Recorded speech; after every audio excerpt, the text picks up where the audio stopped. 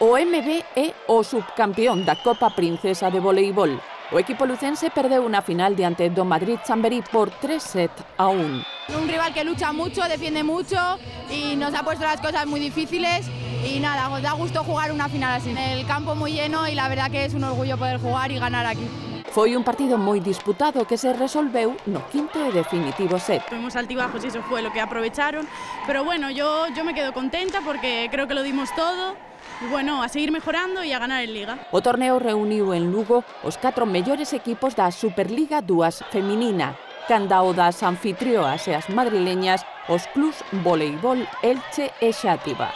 La experiencia para muchas ha sido la primera y hemos venido muy contentas, con mucha ilusión, muchas ganas, hemos hecho lo que hemos podido y ya está, pero una experiencia nueva y para adelante. O ritmo trepidante do encontro marcou o da afección nas gradas. Hemos sentido la, la, afición todo el rato sin parar y eso nos ayudó mucho y le estamos muy agradecidos porque siempre que pueden vienen y nos animan muchísimo. O pabillón municipal dos deportes tremeu durante todo o partido coa entrega absoluta dos seguidores das finalistas. Entre o público, xogadoras da canteira do MB. Estuve viendo todo el campeonato y bueno, el equipo que más me gustó pues fue el, el mío, el MB, pero todas tienen un nivel muy alto. Yo juego desde pequeñito del MB y lo que más me gusta son, las jugadoras que más me gustan son Laura Villasante y Lucía Prol. y sin duda el equipo que más, eh, el rival más duro es el Madrid.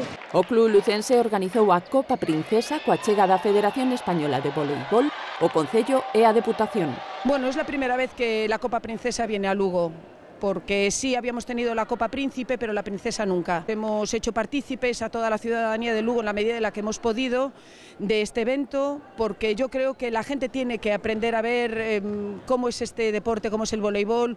As xogadoras do MB recibiron o trofeo de subcampeoas de mans da Concelleira de Cultura e do Deputado de Deportes. Conseguimos que Lugo unha vez máis fose o centro dun deporte, neste caso do, do voleibol no, no panorama nacional, E bueno, pois eh, éxito de participación, éxito de público e unha moi boa organización que como moi ben decía a presidenta Viví, pois a verdade que supón achegar con maior facilidade este deporte a, a todos os lucenses, non? A madrileña Paula Carpintero recibiu o premio a mellor xogadora momentos antes de que o seu equipo alzase a decimoprimeira Copa Princesa, Para elo foron precisas máis de dúas horas dun excelente xogo.